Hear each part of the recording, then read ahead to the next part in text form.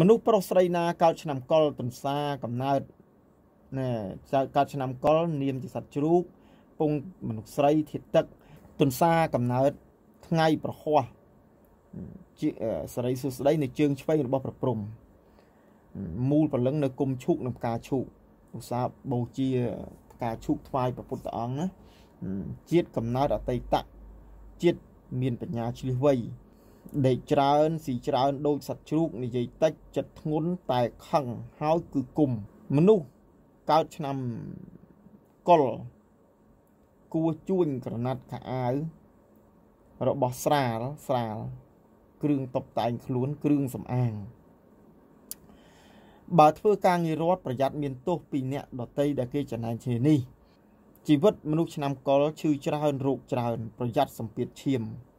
តែគិតច្រើនគេងមិនលក់គឺឈឺជំងឺរយមុខនិងប្រយ័ត្នកើតជំងឺឬដងបាតក្រពះពោះវៀនសន្លាក់ឆ្អឹង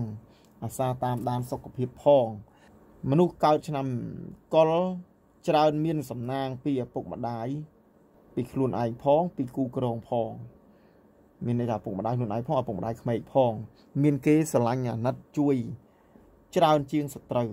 ចូលចិត្តជួយគេឯងមានកម្មមួយគួរប្រុងប្រយ័ត្នគឺការរងរបួសធ្ងន់ នៅក្នុងពេលធ្វើការងារឬការធ្វើដំណើរតាមផ្លូវទៅណាមកណាដំណើរយឺតបន្តិចហើយរឿងដេកត្រមួកបន្តិចនិងស្រមុកលឺលឺប្រយ័ត្នសុខភាព ពិសេសនៅឆ្នាំជន់ឆ្នាំគុតឆ្នាំកន្ទុយ5ឆ្នាំកន្ទុយ0មនុស្សប្រុសស្រីណាដែលគាត់កើតឆ្នាំកុលចំខែ5ខែ11ខែ8ខែ2ខែ10ខែ4មានការនឿយហត់និយាយ ច្រើនអត់ប្រយោជន៍គ្មានបានការមនុស្សប្រុសស្រីណាកើតឆ្នាំកុលចំខែ6ខែ12ខែណែ7ខែ1ខែ9ខែ3មានសំណាងខ្ពស់លៀបចូលច្រើនទ្របចូលច្រើន មានទ្របសម្បត្តិខ្ពស់